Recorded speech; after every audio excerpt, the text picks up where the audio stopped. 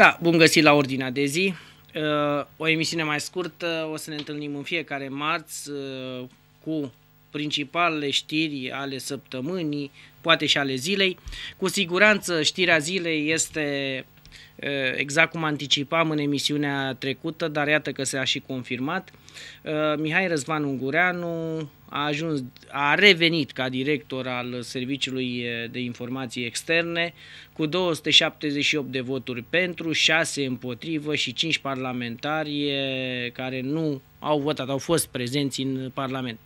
Adică parlamentarii respectivi au avut o, sing- o singură misiune, aceea de a face gvorumul necesar ca să treacă această hotărâre cum sunt de la PSD, vom vedea dacă acest partid mai poate să ia măsuri cu proprii parlamentari, pentru că se pare că uh, altădată un partid cu extrem de bine conturate chestii pe disciplină, uh, lucrurile se mai, se mai schimbă. Bineînțeles că vreau să uh, acest vot pentru mereu a fost un test, în sensul că s-a dorit să se vadă dacă ar exista o nouă coaliție guvernamentală. Uh, liberalii, cum era de anticipat, au și început să, în câteva minute după vot, deși bănuiesc că îl știau de azi dimineață, uh, au început să facă să se laude, avem majoritate pentru o nouă moțiune de cenzură. Păi nu se prea poate depune decât undeva la toamnă. Până la toamnă evenimentele vor mai evolua. Vedeți că Uh, apropo de reprezentantul interesului național, cine știe ce o mai face, mai nou s-a trezit, iată, și cu o acuzație de plagiat uh, care s-ar putea să fie destul de important, adică presiune se pune și pe uh, se pune și pe premierul interimar, deci cu siguranță lucrurile vor fi foarte volatile în această vară și în această toamnă. Sunt create premisele la acest moment să avem în perioada următoare o schimbare de guvern, mai ales după uh, dacă premierul uh, Victor Ponta, în momentul când revine în țară, uh, s-ar putea să demisioneze, mai ales că sunt de anticipat diverse măsuri din partea procurorilor. Dar asta e altă problemă. Apropo de știrile cele mai importante, nu numai apărat, nu neapărat ale zilei, ci ale săptămânii, uh, suntem în, uh, într-o situație foarte interesantă pe plan internațional și anume, uh, de vreo două săptămâni toată presa titrează în fiecare zi, zi decisivă pentru, pentru Grecia. În cazul nostru, Țiparis, sau cum se numește premierul, cum se citește premierul grec, a cerut astăzi o nouă deci creditorilor, deci e vorba de FMI, Comisia Europeană, o nouă înțelegere pe 2 ani, dar și prelungirea pentru scurt timp a actualului program de ajutor pentru a evita un deflo uh, tehnic.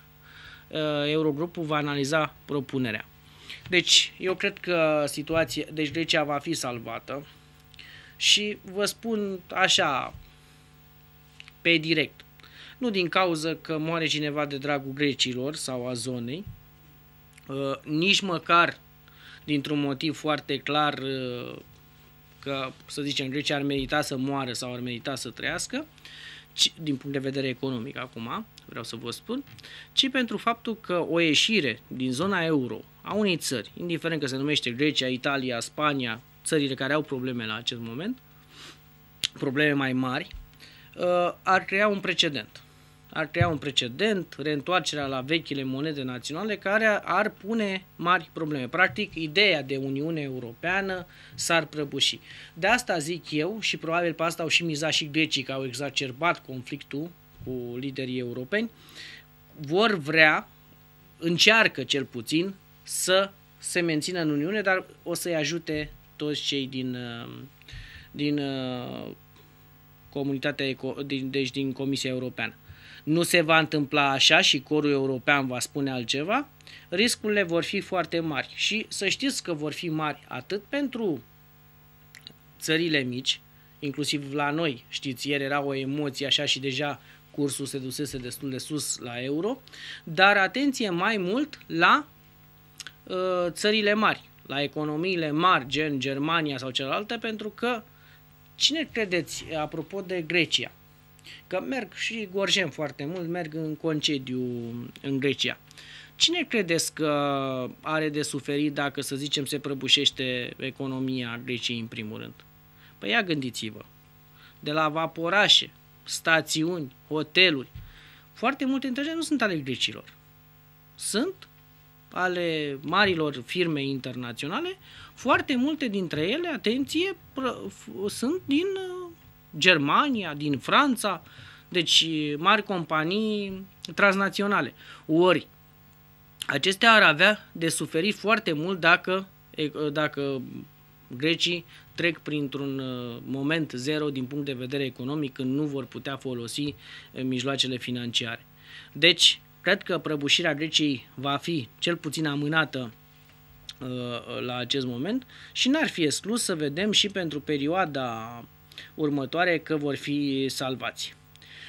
Pe de altă parte, apropo de evenimentele internaționale, să știți că avem, România joacă un rol important la acest moment. Ați văzut președintele Iohannis ce bine a fost primit de, de liderii europeni la ultima întâlnire. Sprijinul Germaniei ne este extrem de important și se vede acest lucru.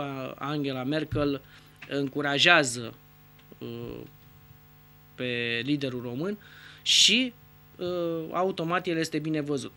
Problema ar fi ca uh, imaginea bună pe care o are Claus Iohannis în Occident, uh, rezultatele sale să fie concludente, deci pentru perioada următoare și să nu ne trezim ca în situația cu Austria, în care s-a trezit vorbind un ministru al muncii sau ce este, că copiii români, ai, oameni, ai românilor care lucrează în Austria plăte, ă, primesc alocații prea mari și să fie reduse ca în România sau aproape ca cele din România. Deci asta, aceste lucruri trebuie evitate și vreau să vă spun că încă o declarație două neinspirată a președintelui, cum a făcut-o la început, după aceea s-a implicat în rezolvarea cazului, s-ar putea să-l coste din punct de vedere politic, mai ales că pe ultimile sondaje, inclusiv președintele a început să scadă. E o erodare normală, dar poate venită deja prea devreme. Sunt șapte-opt luni de când este la Palatul Cotroceni, deci e o mare problemă pentru pentru viitor dacă se erodează și erodarea va deveni din ce în ce mai accentuată în momentul când va avea guvernul său, dacă rezultatele nu sunt cele concludente. Să nu uităm că, uh, apropo de dacă ne luăm de experiența celor 10 ani cu Traian Băsescu, atât timp cât a fost un guvern ostil lui uh, Traian Băsescu, cel al lui Cătălin, uh, al lui Călin Popescu Tăricianu, Uh, lucrurile au stat bine pentru Traian Băsescu, a reușit să treacă cu brio în 2007 de decizia de suspendare, a fost reales în 2009, după, în schimb, după 2009, 2010, 2011 până în 2012, guvernările Boc și MRU l-au dus foarte jos în sufragiile populației. Acum va ști probabil uh, președintele să evite o asemenea, adică să a învățat din greșelile lui Traian Băsescu, așa credem, altfel o să suporte consecințele, pentru că la noi în România se întâmplă un lucru și vreau să vă spun că este din ce în ce mai evident. Deci românii vin în număr mare la vot în ultima perioadă, se îndreaptă spre o singură direcție, chiar surprinzător, să nu, să nu uităm sondajele dinainte de alegerile prezidențiale, dau pretenții foarte mari. Cum acestea nu se pot împlini, Gândiți-vă doar la proiectul lui Iohannis de aducere a diasporei acasă sau a reprezentanților săi. Nu se va întâmpla nimic din acest lucru, din acest lucru și nici n-ar putea să vină omul respectiv. Știți, nefericitul scandal cu Ioan Rus când a dat o declarație din puțul gândirii, dar trebuie spus un lucru. Păi, pe ăla, la 1500-2000 de euro, indiferent ce face în Occident, îl poți aduce acasă să-i dai minimul pe economie, să zicem un 10 milioane, lei vechi, adică 1000 de lei? nu se pune problema așa și deci nu cred că vor reveni prea curând. Iar ca să găsești niște ocupații în România care să fie plătite la ceva echivalent ca afară, nici nu se pune, nici nu se pune problemă. Apropo de aceste lucruri, nu știu cum vom evolua în viitor, dar cu siguranță trebuie să facem ceva și pe această, pe această direcție. Dar pentru că vorbeam de acest, de acest lucru, să știți că avem o mare problemă din punctul de vedere al, al socialului din România. Au crescut, a crescut salariul minim, va crește din nou, s-au mărit alocațiile, cresc ajutorul minim garantat toate celelalte, e normal pe undeva, dar să știți că e și o mare problemă, a crescut și numărul de șomeri, apropo, care nu e o creștere care să ne bucure, însă în continuare avem uh, o cifră falsă în privința șomerilor. De ce? Foarte mulți nu mai sunt în evidențe pentru că lucrează în lumea rurală, dacă lucrează. Pentru că, spre, nu, eu nu știu din ce trăiesc, dar în satele Gorjului, și acum bănuiesc că ne vedeți foarte mulți la televizor, sunt foarte mulți care n-au nicio ocupație, doar supraviețuiesc bine mersi, ceea ce înseamnă că undeva, cumva, au niște venituri. Că mai sunt cei bătrâni cu pensiile, că mai sunt uh, ajutoare de la primărie, nu știu acum. Problema e că oamenii respectivi nu pot fi atrași nici măcar într-o piață clandestină a muncii sau în orice caz la negru nici măcar la acele lucrări agricole cum se făcea să iei oameni la sapă sau ceva de genul ăsta. Pretenții exagerate, muncă redusă. Deci nu cred, că e, nu cred că e în regulă în România și cumva trebuie să schimbăm această optică. Deci, haide să, când merg afară, românii noștri rup, muncesc, de foarte multe ori sunt cei mai apreciați, însă în țară refuz să crezi că au rămas doar leneși. Uh, problema e că cumva trebuie corectat acest, acest lucru. Apropo de știrile unei săptămâni, trebuie să spunem că această săptămână practic este ultima animată și din viața politică. Parlamentarii pleacă în vacanță, în același timp toate trec la o turație mai redusă și cu mici excepții, bine, acum agitate de viața politică tumultoasă de la București, probabil că până după 15 august nu vom avea evenimente foarte importante. Necunoscutele mari sunt legate însă de revenirea premierului în țară și de problemele convulsive atât în interiorul PSD cât și în interiorul coaliției. Pe de altă parte, vă spun eu că și politicienii sunt oameni, toți se gândesc la concedii, toți se gândesc la perioada aceasta de relaș și nu se vor întâmpla evenimente foarte importante decât dacă sunt provocate într-un anumit, uh, într-un anumit fel. Mă gândesc că și justiția, după ce, iată, l-a luat pe stripcarul primarul de la Brașov, până și justiția va avea nevoie de o bine meritată vacanță. Avem și vacanță judecătorească din 15 iulie în 15 uh, august, așa că lucrurile trec mai, mai în relaș, pe undeva normal, așa cum amintea colega mea mai devreme, acest, acest lucru se întâmplă și în Occident. Vine o vară, se anunță extrem de călduroasă, deocamdată e foarte friguroasă și ploioasă, sau în orice caz cu vreme destul de ciudată, dar vine o vreme din ce se aude foarte călduroasă, vin temperaturi foarte mari, dar așa e vara, vara e cald, iarna e frig, așa că e normal pe undeva să avem din, acest, din aceste motive. Acum o să îi aștept pe colegii din regie să spună câte minute mai am, dacă mai am, și uh, uh, o să mergem, uh, îmi spun că deja am depășit timpul acordat acestei emisiuni.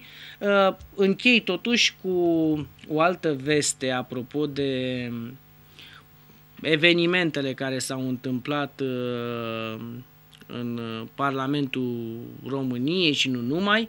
Uh, prioritatea lui Mihai Răzvan Ungureanu în fruntea Serviciului de Informații Externe este schimbarea legilor siguranței naționale. Interesantă prioritate, având în vedere că acestea n-au prea fost schimbate de prin anii 90. Vom trăi și vom vedea ce se va întâmpla în perioada următoare. Mulțumesc pentru atenție, ne întâlnim săptămâna viitoare la aceeași oră. La revedere!